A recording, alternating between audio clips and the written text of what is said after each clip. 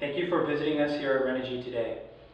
In this video, we will be showing you how to connect your panels in parallel and in series. For this video, we will be using two 100 watt panels. We're going to begin with a parallel connection. To wire our panels in parallel, we will need our MC4 branch connectors, also known as Y connectors. To begin our parallel connection, we're going to grab both of our positive leads, which are readily identified by the indicator. We grab our MC4 connector and we just plug it in like this.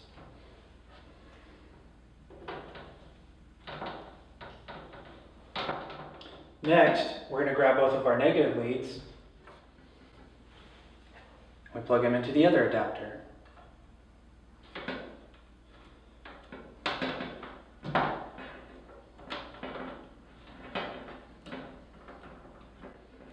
Now we have a positive lead and a negative lead. And the next step would be to plug these in to our adapter kit. Now that we have our parallel connection set up, we are ready to attach our adapter kit to our panels. You can either, either use the 9 inch adapter kit or the 10 foot adapter kit. For this video, we're just going to use the 9 inch adapter kit since we're so close to our charge controller.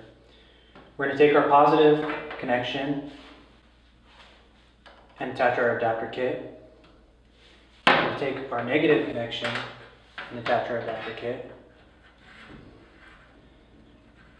And as you can see, our bare wires are exposed and we are now ready to plug into the charge controller. When your panels are in direct sunlight and your leads are exposed and you're running your wiring, you just want to make sure not to cross these wires together because they could short out the diodes in the junction box. Since our 100 watt panels are rated at 12 volts, our parallel connection now allows us to maintain a 12 volt system and we can connect to a 12 volt battery using a PWM charge controller. Now that we've covered the basics of our parallel connection, we're going to transition into connecting our panels into a series. Series connection will utilize a 24 volt system. The first thing we're going to do for our series connection is we are going to take our negative lead from one panel and our positive lead from the other panel and we're going to connect them together like so. Now we're left with a positive lead and we're left with a negative lead. We're going to take our adapter kit attach our positive lead, like so.